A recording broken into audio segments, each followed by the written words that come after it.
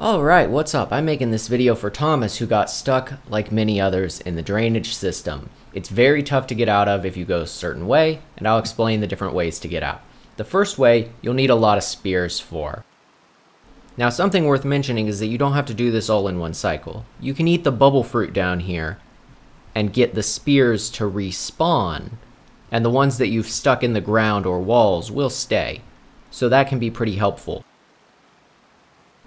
If you're unfamiliar with the mechanic, you can starve yourself on just like a single piece of food, but it does hit your strength, so it could make it harder to get out. You also don't have to put this in the ground. You can put it in the wall. I just like doing the trick.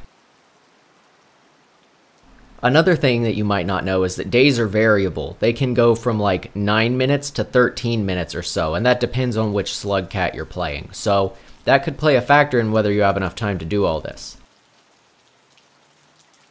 I probably put these too far down in the wall and made some mistakes here. I'm not too good at this method. I don't think I've ever actually gotten it to work until now, but I never really devoted much time to trying either. It's really tedious and pretty difficult. I don't recommend this way to get out.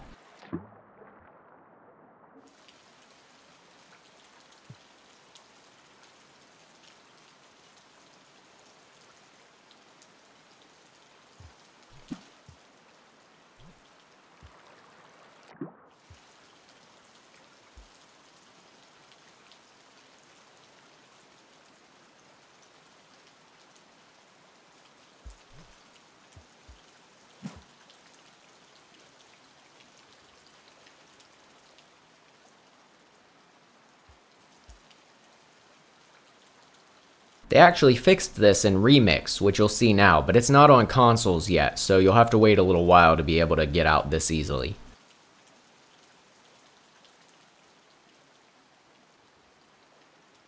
The way I recommend getting out is down here through the water. Now something you may not know is that there are air pockets down here. They're just really hard to see. First you have to get past this monster kelp. If you don't know, monster kelp are movement-based vision, so you can actually just gently wiggle past them. If you're careful, they won't attack you. Now check this out.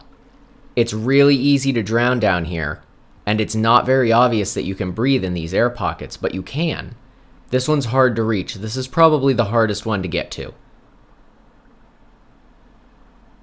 I almost didn't make it. You can see my air at the bottom. That's another remix setting. But I do know that this is possible on the original version because this is how I got out.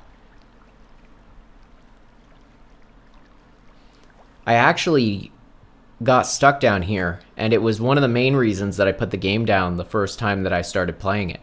And now it's what my whole channel is based around. So I hope this helps you out, and I'll see you next time.